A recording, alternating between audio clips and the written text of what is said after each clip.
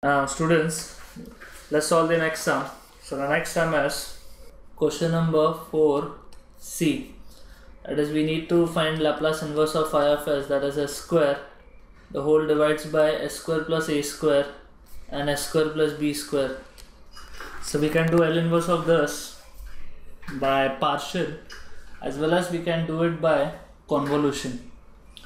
So in the convolution sum of this I have already solved in my convolution type.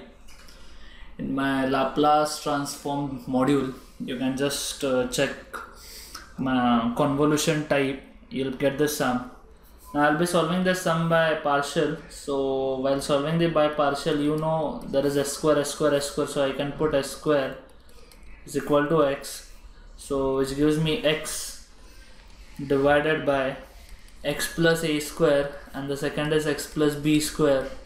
So which we can get as a divided by first is x square plus x plus a square plus second is b divided by x plus b square. So for finding a I need to substitute x is equal to minus of a square. Let's substitute that. Gives me minus of a square divides by here b square minus a square. So which we can write as a square whole divided by a square minus b square. So that's my a. b I can find by substituting x equal to minus b square. So this I can write as minus b square. The whole divides by so after substituting here minus b square I get a square minus b square which I can write as b square whole divided by so this comes b square minus a square. So students we have find a and b. You can directly write phi of s is equal to the first will be after substituting again you know a in the place of x s square. So i'll be writing just capital a. We have find out capital a here. Divides by s square plus a square.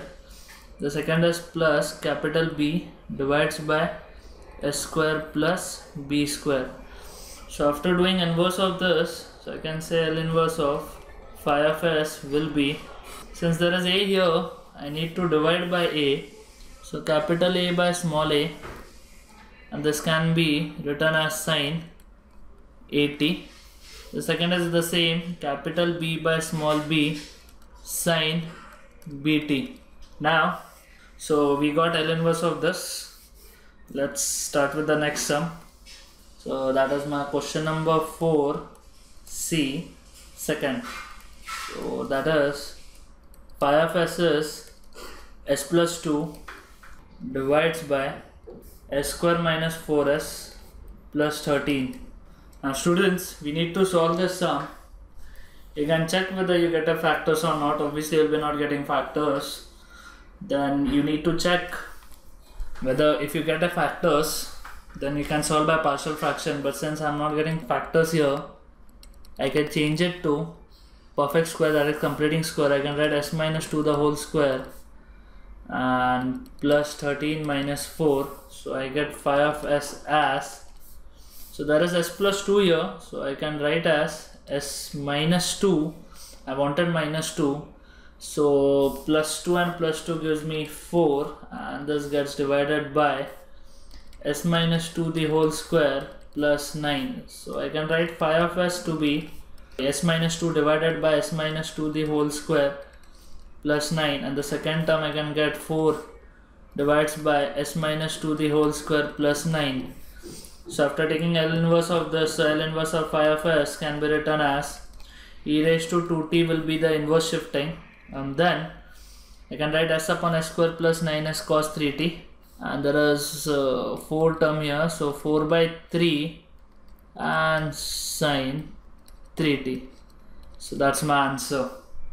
So I've completed all sums of uh, May 15 we'll start with the next paper in my next video. Thank you for watching video on in 5 minutes